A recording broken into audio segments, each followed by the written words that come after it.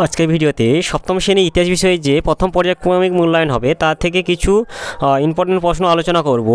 প্রথমে যেটা আছে তোমাদের, এই যে এক নম্বর প্রশ্নগুলো সবই দেখে নেবে, একটু ইম্পর্টেন্ট আছে।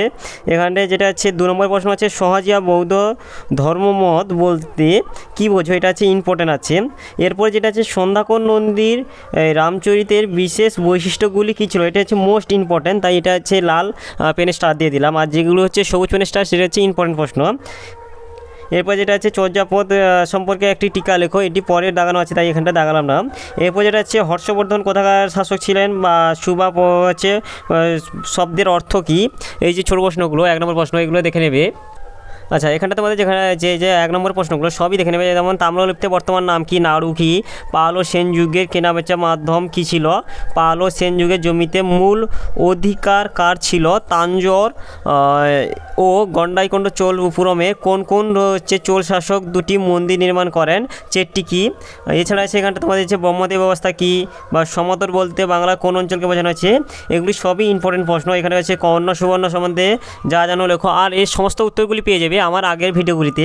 এরপর যেটা আছে, তিনে থেকে যেটা আছে, গৌরতন্ত্র কি? শাসক হিসেবে শশাঙ্কের দুটি ত্রুটি এটিও ইম্পর্টেন্ট আছে। আবার হচ্ছে যেমন আছে ভারত এই পাল ও সেন যুগে কর ব্যবস্থা কেমন ছিল? এছাড়া এটা দেখে নেবে, যেমন আছে ভারতের সামন্ততন্ত্রের ফলাফল কি হয়েছিল? আচ্ছা এখানে তোমরা এক নম্বর প্রশ্নগুলো দেখে নেবে, সবই ইম্পর্টেন্ট মোটামুটি আছে। এখানে যেমন আছে নগরম কি বা খ্রিস্টীয় সপ্তম ও অষ্টম শতকে আঞ্চলিক রাজ্যগুলি কেমনভাবে গড়ে উঠেছিল? এটা দেখে নেবে তোমরা। এরপরে যেটা আছে এখানটায় মোস্ট ইম্পর্টেন্ট প্রশ্নগুলির মধ্যে একটা আছে, যেমন হচ্ছে সেন রাজা আচ্ছা সেন রাজা লক্ষণ সেনের রাষ্ট্রসভায় সাহিত্য চর্চার পরিচয় দাও। এটা মোট মোস্ট ইম্পর্টেন্ট প্রশ্ন আছে। এটা একটু দেখে নেবে। আচ্ছা এখানটা তোমরা একটা দেখে নেবে। এই যে মোস্ট ইম্পর্টেন্টের মধ্যে পড়ে, সামন্ততন্ত্র কাকে বলে? এই প্রশ্নটা মোটামুটি ভালোই আছে, তাই এটাও দেখে নেবে। আর এক নম্বর যত প্রশ্ন আছে, যেমন হচ্ছে যে সকলত্ব, ওর পথনাথ কিংবা বন্ধ হচ্ছে বঙ্গ নামটি প্রথম উল্লেখ করছে কোন বিশেষ গ্রন্থ থেকে পাওয়া যায়? হিজরি সাল গণনা কত আছে খ্রিস্টাব্দ থেকে? এই যে দুই থেকে মোট জব সবই এক নম্বর প্রশ্নগুলি মোটামুটি ভালো ইম্পর্টেন্ট আছে, তাই এগুলি একটু দেখে নেবে। আচ্ছা এখানটা তোমরা এই যে টিকাগুলো দেখে নেবে যেমন হচ্ছে নালন্দা বিশ্ববিদ্যালয় বা রামচরিত তারপর হচ্ছে ত্রিশক্তি সংগ্রাম বা সংগ্রামালয় বাংলার আর্থিক অবস্থা কেমন ছিল? মোস্ট ইম্পর্টেন্টের মধ্যে যেমন আছে প্রাচীন বাংলা রাঢ় সু- সু- রাঢ়সূম্য ও গৌড় অঞ্চলে ভৌগোলিক পরিচয় দাও। আহ, এটা একটা মোস্ট ইম্পর্টেন্ট প্রশ্ন আছে এটা একটু দেখে নেবে। আর এর সমস্ত উত্তরগুলি পেয়ে যাবে আমার আগের ভিডিওগুলিতে আচ্ছা এর এক নম্বর প্রশ্নগুলো দেখে নেবে। যেমন এখানে শ্রীনিবাস কে ছিলেন, এটা একটু দেখে নেবে। তারপর হচ্ছে যে টিকা, কৈবর্ত বিদ্রোহ। কৈবর্ত বিদ্রোহটা ইম্পর্টেন্ট প্রশ্ন আছে আর মোস্ট ইম্পর্টেন্ট প্রশ্নের মধ্যে পড়ে যেটা। পাল ও সেন যুগে বাংলা অর্থনীতি পরিচয় দাও। আচ্ছা এখানটা তোমরা দেখে নেবে। এক নম্বর প্রশ্নগুলো সবই দেখে নেবে। যেটা আছে ইম্পর্টেন্ট প্রশ্নের মধ্যে বলে যেমন হচ্ছে পাল, সেন যুগে গৃহপালিত বন্য প্রাণীর নাম লেখো। এটা আসছে অনেক সময়। যেটা প্রায়ই আসছে, যেটা হচ্ছে মোস্ট ইম্পর্টেন্টের মধ্যে যেটা পড়ে, কোন ঘটনাকে হিজরত বলা হয়? আর এই সবগুলি উত্তরই পেয়ে যাবে আমার আগের ভিডিওগুলিতে। যে এরপর যেটা আছে চার থেকে যেটা আছে যেটা আছে, সুলতান মাহমুদ ভারত থেকে লুট করা ধনসম্পদ কীভাবে ব্যবহার করেছিলেন? এই প্রশ্নটি খুবই গুরুত্বপূর্ণ, তাই তোমরা একটু দেখে নেবে। আচ্ছা এখানটা তোমরা দেখে নেবে, যেমন হচ্ছে যে চর্যাপদ কী? চর্যাপদটা খুবই ইম্পর্টেন্ট প্রশ্ন পড়ে। এছাড়া আছে তোমাদের পাল ও সেন যুগে বাংলার মানুষের খাদ্যাভাস কেমন ছিল? আর এখানটায় তোমরা একটু দেখে নেবে যে পাল আমলের স্থাপত্যে তিনটি বৈশিষ্ট্য, এটিও ইম্পর্টেন্ট প্রশ্ন। এই প্রশ্নগুলি দেখে নেবে। আর এর সবগুলি উত্তর আমার আগের ভিডিওতে পেয়ে যাবে। আর এই ভিডিওতে বললাম না, কারণ এটি অনেক বড় হয়ে যাবে ভিডিওটি, তাই বললাম না।